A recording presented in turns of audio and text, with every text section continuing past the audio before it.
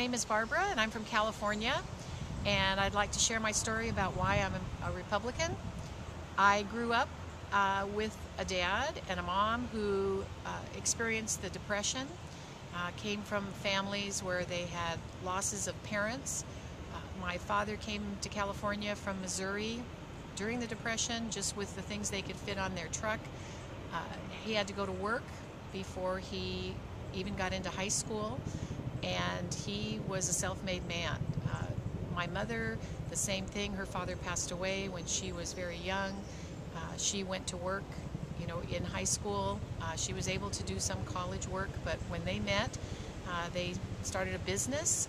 And I just know that my father instilled in us the the uh, the rewards from hard work, and that uh, nobody, you're not no one else is responsible for you. Uh, you need to take care of yourself. You need to always do your best. Uh, and uh, he did that by example. Again, why, why I'm a Republican, uh, I think uh, it's because of how I was brought up. It's that it's what I see in the Republican Party, uh, being responsible for yourself. you know, not for the government. That we do have.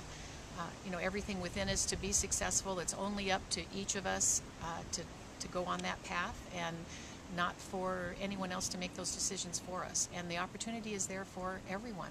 Um, and again, I'm fortunate enough. I have three children, successful, and uh, they're all they're all grown and on their own.